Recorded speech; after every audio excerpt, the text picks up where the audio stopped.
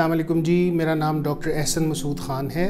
میں ایک M B B S doctor ہوں اور اس کے بعد میں نے ہیلتھ سسٹمز مینجمنٹ میں اور پریونٹیو ہیلتھ میں اسپیشلائز کیا ہوا ہے۔ میں جو دو میری اسپیشلٹیز ہیں، ان میں ایک میں لوگوں کو اسموکنگ چھوڑنے میں ہیلپ کرتا ہوں اسموکنگ سزیشن یا کوئٹنگ اسموکنگ جس کو ہم کہتے ہیں۔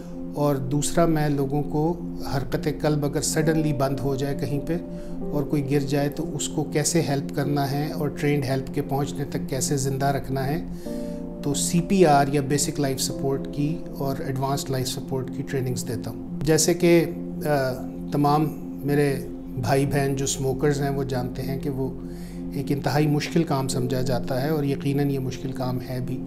جیسے جیسے اس کی عادت بڑھتی جاتی ہے، ویسے ویسے اس کو چھوڑنا مشکل ہوتا جاتا ہے۔ اور یہ ایک نون فیکٹ ہے کہ تقریباً ستر فیصد سے زیادہ سموکرز خود یہ چاہتے ہیں کہ کسی طرح وہ اس سے اپنے آپ کو آزادی دلوا سکیں اس غلامی سے اسموکنگ کی۔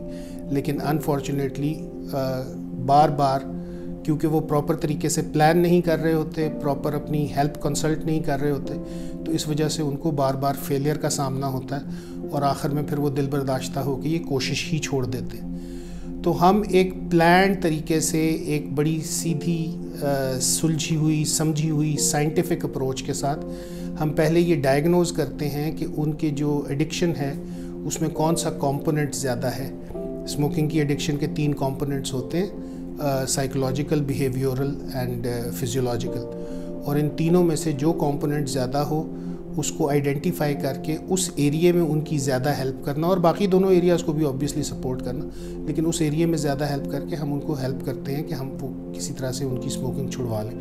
یہ تقریباً تین سے چار مہینے کا پروسیس ہوتا ہے، جس میں ہم تین یا چار یا پانچ کانسلٹیشنز ہوتی ہیں اور اس میں ہم بیٹھ کے کوشش کرتے ہیں کہ اس چیز کو لے کے چلیں۔ کچھ لوگوں کو دوائی کی ضرورت بھی ہوتی ہے۔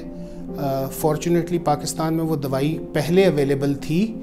اب انفارچونیٹلی کیونکہ اس کی زیادہ مانگ نہیں چلی تو اس وجہ سے وہ ایک سیٹ تو بند ہو گیا ہوا ہے، دوسرا ابھی بھی اویلیبل ہے۔ لیکن وہ دبئی سے بہرحال ارینج ہو جاتی ہے تو وہ وہ بھی کیا جا سکتا ہے۔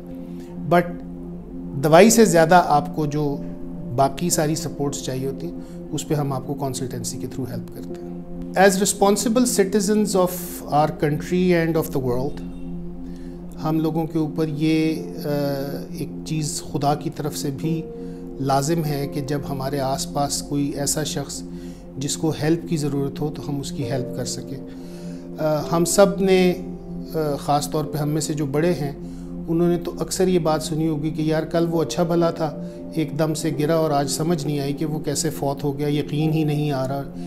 اس ساری چیز کو سڈن کارڈیک اریسٹ کہتے ہیں اور eighty percent of the cases اس چیز کے ہسپتالوں سے باہر ہوتے بالکل بھلے چنگے لوگ ہوتے ہیں جن کو کوئی تکلیف یا کوئی بیماری نہیں ہوتی اور سڈنلی ان کی حرکت قلب بند ہو جاتی ہے، وہ گر جاتے اور کسی کو اس کو سپورٹ کرنا نہیں آتا۔ میرے پاس پاکستان کی سٹیٹسٹکس تو نہیں ہے، لیکن امریکہ میں اس چیز کے تقریباً ساڑھے تین لاکھ کیسز ہر سال ہوتے ہیں۔ ان میں سے تقریباً فورٹی سکس پرسنٹ ہیں جن کو ٹرینڈ ہیلپ آس پاس مل جاتی ہے اور اس ہیلپ کے ملنے کی وجہ سے ان میں سے بارہ فیصد لوگ یعنی تقریباً پینتالیس ہزار لوگ ہر سال وہ ہیلپ مل جانے کی وجہ سے بچ جاتے ہیں۔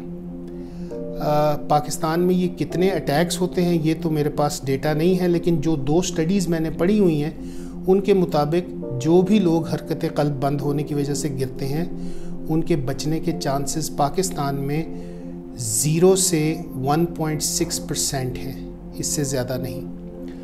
اور اس کی وجہ یہ ہے کہ پاکستان میں چاہے آپ انڈسٹری میں چلے جائیں، چاہے آپ ڈفرینٹ آفیسز میں چلے جائیں، چاہے آپ ایون ڈاکٹرز اور نرسز کے پاس چلے جائیں، تو پراپر سی پی آر کرنا نہیں آتا۔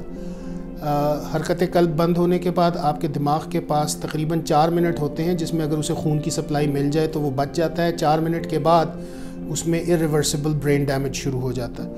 لیکن ہمارے اچھے شہروں میں بھی اگر ون ون ٹو ٹو آپ تک پہنچے گی تو وہ سات سے لے کے گیارہ منٹ میں پہنچے گی۔ جس کا مطلب یہ ہے کہ ان کے آنے کا کوئی خاطر خواہ فائدہ اس وکٹم کو نہیں ہوتا۔ تو وہاں پہ موجود لوگوں کو اگر سی پی آر آتا ہے تو ان کے آنے تک ہم اس دماغ کو خون پہنچا سکتے ہیں۔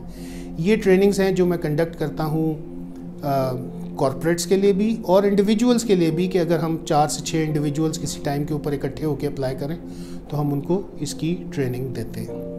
بینگ اے ہاسپٹل ایڈمنسٹریٹر میں نارملی ہاسپٹل کے اندر کافی دیر سارے دن میں اویلیبل ہوتا ہوں، لیکن اسی دوران میں اپنی کانسلٹینسیز بھی کرتا ہوں، یہ اسموکنگ چھڑوانے کے لیے اور آپ مجھے ٹریننگز کے لیے بھی کانٹیکٹ کر سکتے ہیں اور پھر ہم ٹریننگ کیونکہ ایک پورے دن کا کام ہے نائن ٹو فائیو ہوتا ہے تو اسے ہمیں ذرا زیادہ پلان کرنا پڑتا ہے۔ But you can contact me through the platform of Marham and you can get appointments آپ میرے لیے اپوائنٹمنٹ اسموکنگ سزیشن کے لیے اور سی پی آر کے ٹریننگس کے لیے، دونوں کے لیے آپ مجھ سے اپوائنٹمنٹس یہاں پہ لے سکتے ہیں۔